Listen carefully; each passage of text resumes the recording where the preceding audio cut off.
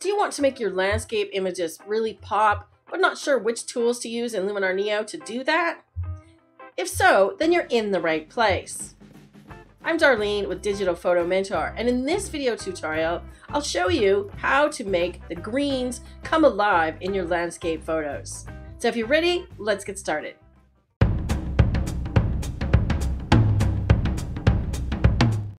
Where, what is the subject here?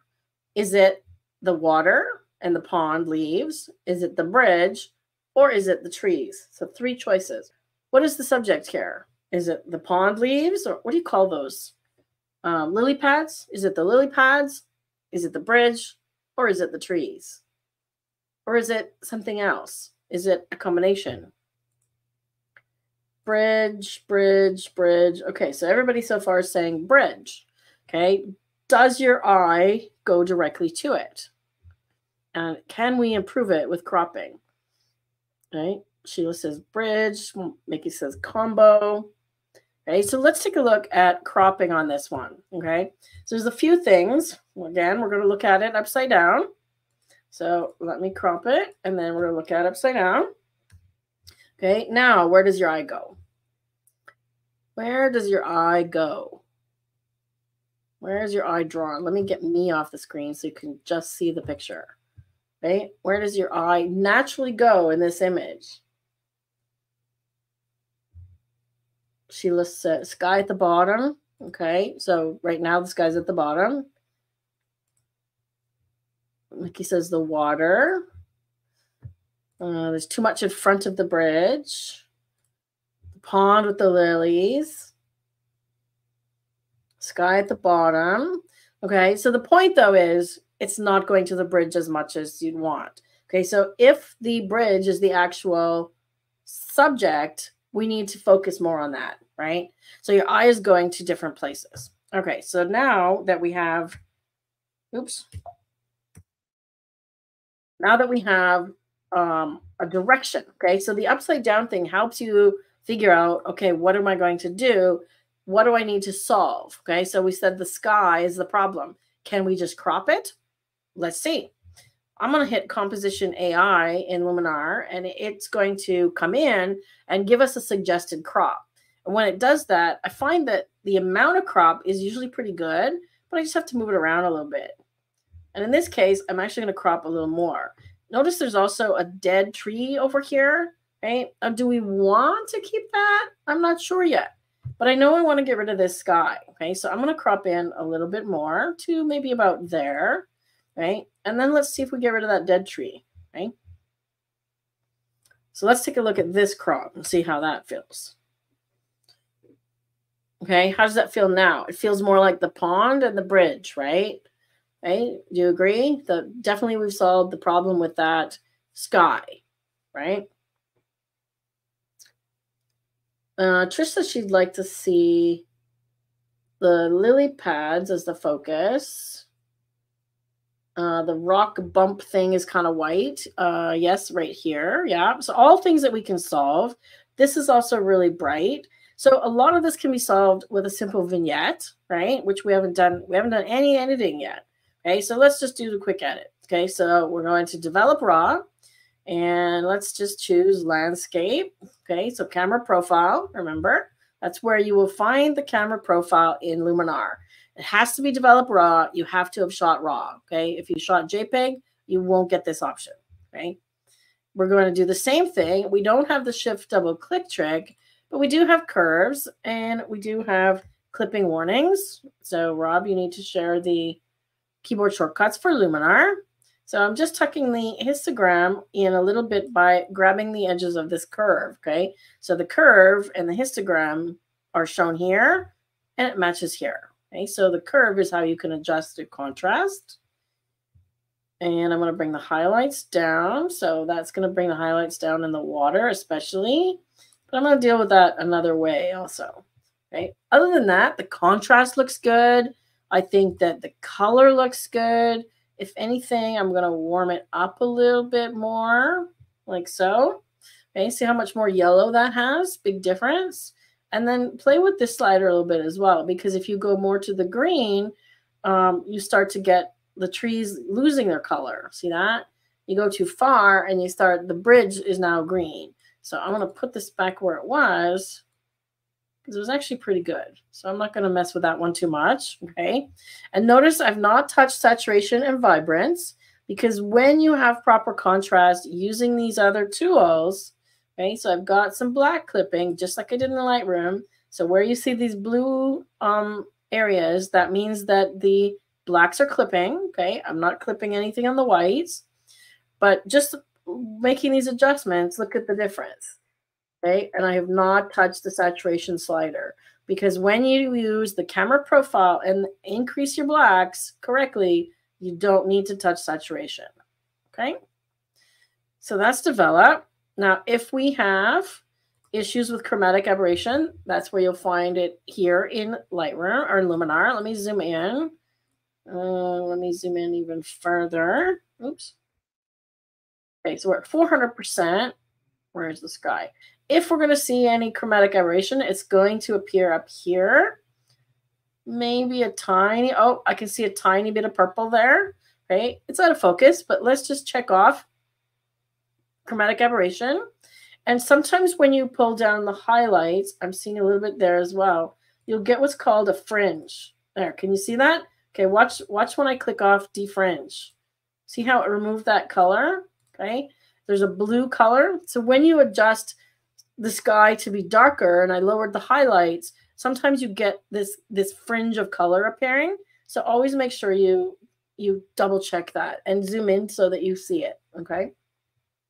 So we fixed those things. And I think we're pretty good on the rest here. Okay, so now once we've done develop raw, I'm going to do a vignette. And here's my vignette trick, right? So if you haven't seen this before, darken it, change the feather to zero so you can see the edge. I'm going to make it the size and the shape that I want.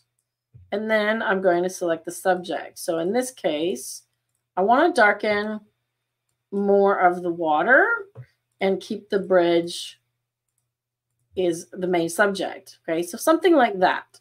So that's the area that I want to affect. And I'm going to darken this in the process as well. So possibly even over a little bit. So I'm darkening this little log over here. Okay. Then I can just put the feather back up and adjust the amount. So I use that as a trick to get positioning and size. Okay. Can you see what that's doing? Again, bringing the focus in to the bridge by adjusting the darkness. Okay, so your eye is naturally going to be drawn in because of that darkness. Okay. Another one that we can use is um, to get focus on the bridge is enhance the structure and the detail, but we can go the opposite way, right? And if I want to darken the pond, there's a couple of different ways we can do that. So I'm going to show you a few, I'm going to show you two different ways. Okay. So first of all, I'm going to go structure. So let's do positive structure and a little boost. And if we want to see what that's doing, okay, so this is kind of like clarity in Lightroom. See that? Okay, so boost. But we only want this to happen around the bridge. So I'm just going to use a radial gradient and create a shape. Okay, so keep in mind when you do a gradient like this, okay, wherever it's red is where it's going to apply. So I need to invert it, right? So it's going to apply on the inside of where I'm drawing it. Okay, so I want the texture there, okay? And while I'm here, I'm going to copy this mask, okay? So under mask actions, Okay, then I'm going to close it and open it again. And this time I'm going to do the opposite. So I'm going to blur. Okay, I'm going to the 100th degree here, paste in that mask, okay, and then invert it. So now it's blurring the outside part, okay? So I'm sharpening inside, blurring outside, okay? And of course, I need to scale it back because that's too much. Okay, now if you want to see what I've done, let me go back to the vignette here. Right, so that's before the, the structure It's subtle, but you can see that it's softening the edges, right? While bringing focus into the, the bridge. The next thing I like to do is, is like, you can use a dodge and burn tool if you want to darken the bits of the pond, or I find it much simpler to use develop.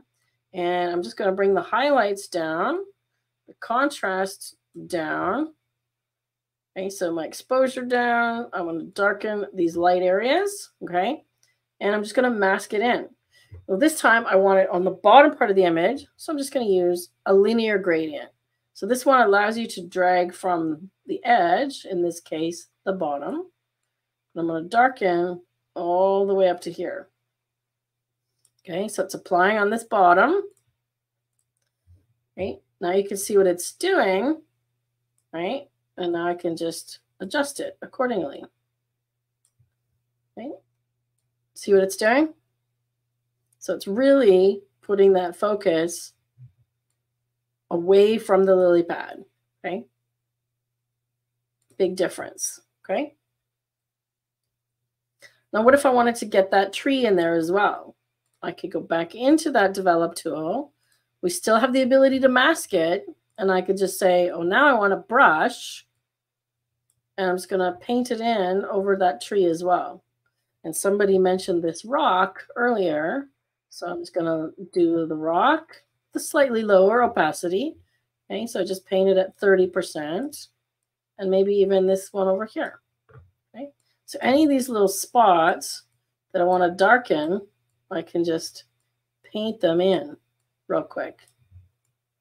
Like so. Okay. So there we are, before and after. Okay. I feel like it's a little bit crooked still. I feel like the bridge is tilting. There, that's better. Make sure that your verticals are straight. Okay. There we go. So before and after. Okay, so now we've made the bridge stand out. Any questions? Too much foreground. See, the other thing that I thought of as well, David, is to crop this one into more of a panorama. So you're not stuck with the original aspect ratio or the shape that the camera photographed. We could go into freeform and then just make it into more of a panorama. Oops, move it over a little bit. Okay, so too much foreground. When you have a lot of foreground like that, it feels like the subject is really far away, right? Let's try something like that. How's that? Better, David? Good? Somebody sees an upside down tree in the water. Am I missing the upside down tree? Oh, over here. Here, there's a reflection of this bush. Okay. Now, scenes like this are really pretty, and look at the the greens. Remember, I, I said I was going to show you another way to darken the pond. I'm going to do that. But because there's lots of green in here, um, there's a couple of tools you can use to get some variations in the greens. So we could go to the color tool and go down to HSL and luminance. So luminance is brightness. And then play with the yellow and the green because you'll see what happens. There's lots of green in here, but there's also lots of yellow in here. Okay. So I'm going to brighten the yellow while simultaneously darkening the green. Okay, can you see what that's doing? Let me just turn it off. See how it's created a little more contrast within the leaves themselves, okay? So that's a little trick I like to use. Or we could brighten the green and darken the yellow, but it doesn't work as well. Generally, I use yellow brighter, green darker? Like so. We can see if there's any orange in there. Oh, yeah. See, look at there's some orange in that bush. Right? We can also shift the color by going to hue. So if you want this to turn into more of a fall scene, look what happens. We can literally make it fall. How crazy is that? Okay, so I'm shifting the hue of the yellows and the greens. Okay, I might actually shift it a little bit like that. I kind of like the yellows being a bit orange. How about that? Okay, so see the difference here that this color tool is making? We're just creating some variations of tones within the trees. So it's not all just the same green. Okay. The other tool that you can use to do that is color harmony. I have it in my favorites, but normally you'll find it down here under professional. Okay, so color harmony and this first one, color contrast. Well, I guess it's the second one. Okay, so drag the amount up. I usually just bring it up to about 30. And then as you change the hue slider, it's going to affect different parts of the image. Okay, so wherever your slider lands, it's going to increase the contrast and brighten that, that color and darken the opposite. So in this case, yellow green, right? So see how that's working? So similar to what we did with the other tool, you can do here as well. Be really careful with this one because you can create what I call, of course, neon puke, right? So we need to avoid the neon puke. And yes, we're working on some t-shirts for that, right? The other tool, there's another tool that you can use to enhance landscape images. Go figure the landscape tool, right? landscape tool. Okay, the landscape tool has basically these two sliders that are really advantageous for landscapes. Foliage enhancer. I actually prefer using the other two tools that I just used because you have a bit more control with them. Foliage enhancer goes crazy, right? And especially if you go too far and it makes the greens kind of really bluish neon. And I, and I, you know, I'm not a fan. I always, always, always drag this one to minus 30 to 32 because the greens are just too blue otherwise, right?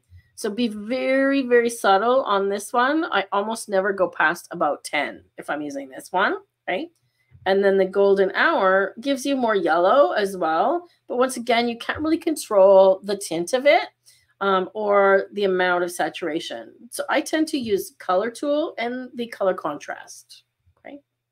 Let's see where we're at. Okay. Before and after. Can you see the difference in the leaves now? Really punches, right? And the final way I'm going to show you how to darken the pond, and it's not the dodge and burn tool, it's using a layer. So we want to duplicate the layer. And you can do that by right clicking on it or literally just press D on your keyboard and it makes a duplicate layer, okay, exactly the same with all the same edits. Okay, so that's the neat thing. So you can actually change the edits. Okay, but if you change the blend mode to multiply, it darkens everything. Okay, so it's adding the density from one layer to the other layer. So then you can dial it down in terms of opacity, right? So look at the punchiness it's adding. Okay, so we're getting some real punchiness here. And then, of course, you can mask it. Okay, so if I don't want it on the middle, I can once again make a radial gradient in the middle. Oops, I keep grabbing the wrong thing. Right, so now it's going to affect the outer part of the image, not the inner part. Remember, so that's what we want. Okay. So now look what it's doing. So it's literally an edge vignette. But instead of toning it in a way that looks fake, I love this duplicate layer, multiply blend mode for darkening and doing sort of a custom vignette. So there's our before and after. I might be inclined to come in and do a bit of erasing. Um, and I would do that on the bottom layer before I duplicated just to clone out some of these little spots. And I might do some work on the, the log to tone it down even more. So as Rob has said, please give us a thumbs up on this video if you're watching and you're getting some value out of this today. And remember to subscribe to the channel, hit the notification bell, and share this, share the video with everybody you know that likes photography. They can help them learn to do their landscape editing as well. And come join us next time. Thanks for watching. If you enjoy my teaching style and you want more step-by-step -step instructions to learn the software, check out Luminar Neo, the complete course. You'll find a link to it in the pinned comment below. Click either of the videos on the screen now to watch more photo editing tutorials using Luminar Neo, Lightroom, and Photoshop.